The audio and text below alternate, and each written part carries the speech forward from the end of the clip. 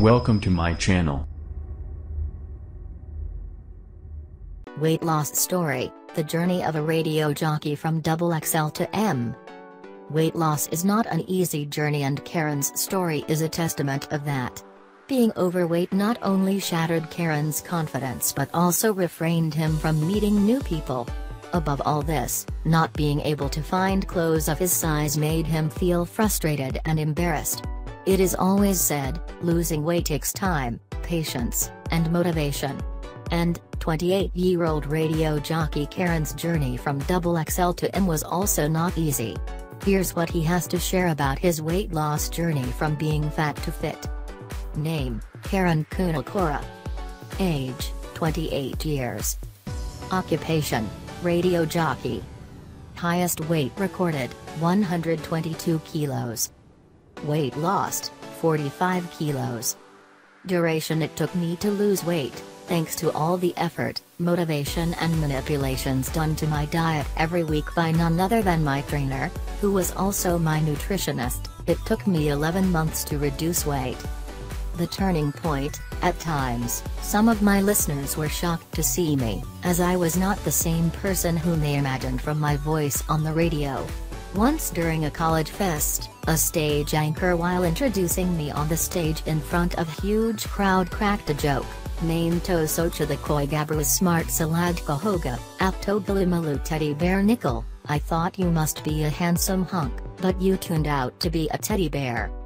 So, looks are also important in the radio world, because nowadays RJs are not confined to a particular radio show and creative content. They also interact with listeners through meetings, stage events and social media platforms. My breakfast, eggs, paneer, black coffee, green tea. My lunch, rice, chapati, veggies, soya chunks, curd and cheese cubes. I make sure my carb intake for the whole day must be around pre and post workout and evening. My dinner, paneer pulao with curd, veggies and salad. Eating rice for dinner won't make you fat, total calories consumed in the whole day is what matters. I indulge in homemade butter chicken and aluparantha. My workout, I do weight and compound training, following a periodization model. I change my repetitions every week along with the loads. My trainer never lets me waste my energy on the treadmill more than 5 to 6 minutes I work out for 6 days in a week.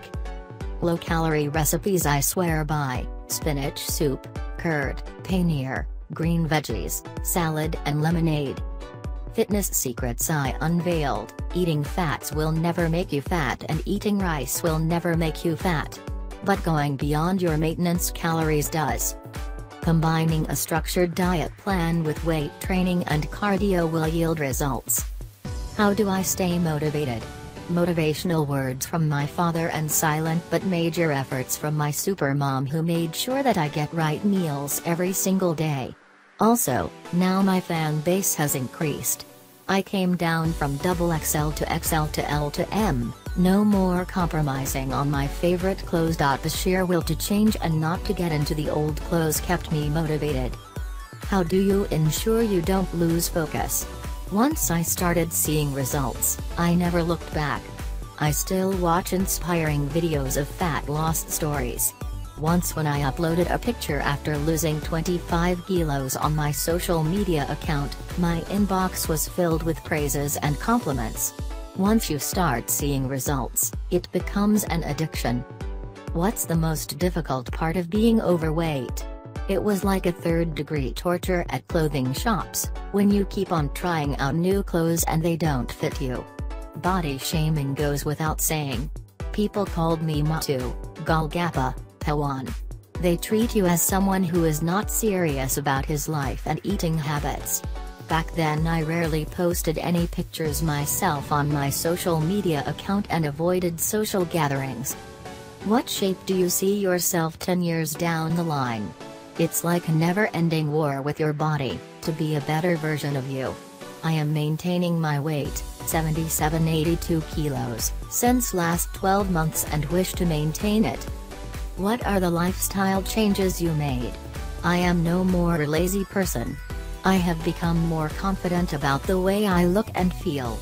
My coach always says how you feel, it's all in the mind and positivity in your mind is directly proportional to your physical fitness.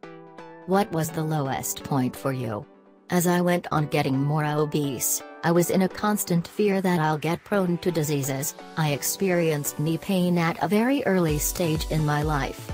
My radio show was affected due to lack of confidence as I was reluctant to meet new people and even my fans. I was not happy in my own skin. I felt like a burden on myself. Emotional eating made things worse. Lessons learned from weight loss you don't think of changing yourself on the basis of what others say. Self realization, motivation, and consistency are the key to everything. Control your mind, not the other way around. I still get urges to eat yummy junk food at gatherings and functions, but for few minutes. Once you control your mind during that, you will come out of that urge very soon. Very soon.